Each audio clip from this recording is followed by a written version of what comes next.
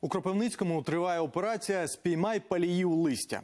Поліція разом із дружинниками за допомогою дрону пильнують на містян, які розводять незаконні багаття, адже це забруднює повітря і небезпечно для здоров'я. Та чи розуміють самі люди, якої шкоди завдають? Дивіться далі. Смог та характерний їдкий дим. Тут, в одному з приватних секторів міста, люди масово палять листя. Спецінспектори запускають дрон. Перше багаття виявили на городі цієї літньої жінки. Та вона виправдовується. Мовляв, іншого виходу не бачить. Я садю, а що мені робити? Оце мусорка забере, скільки бур'яну, скажіть, пожалуйста.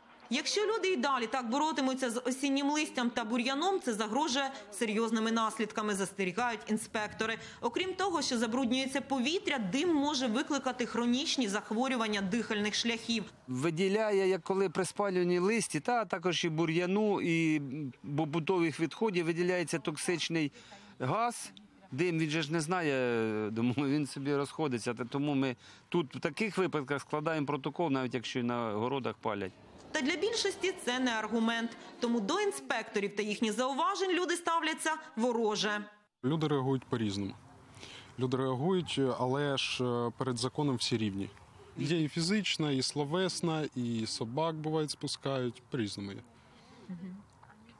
Моральний тиск, фізичний тиск, таке інше. Але ми не здаємося. Відро листя я спалила, ну то що? Мені нема куди його зараз діти. Вітер розмітає, розкидає все. Не палити, а утилізувати, як і будь-яке інше побутове сміття, закликають у міській спецінспекції. на полігон твердих побутових відходів. Громадянам міста лише потрібно е, пакувати листя, садово-городні відходи, тверді побутові від, відходи, гудення від картоплі та інших городніх рослин.